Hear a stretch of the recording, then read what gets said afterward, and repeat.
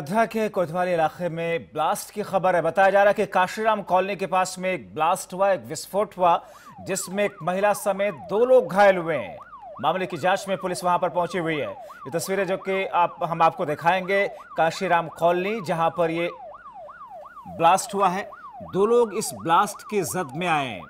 सत्यप्रकाश हमारे साथ full line के ज़रिए इस वक्त जुड़ चुके हैं। सत्यप्रकाश बताएँ कि क्या हुआ यहाँ पर? ब्लास्ट कैसे हुआ और इस वक्त स्थिति क्या है? क्या कोई इसके जद में आए, किसी को चोटें आई?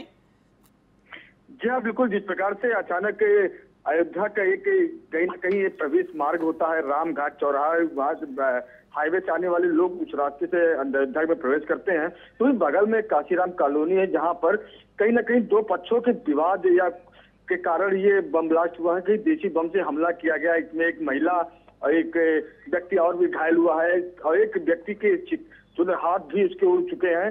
कहीं ना कहीं लोगों की इलाज तो चल रहा है। मौके पर भारी मात्रा में पुलिस बल तैनात है। इस घटना की जाँच की जा रही है।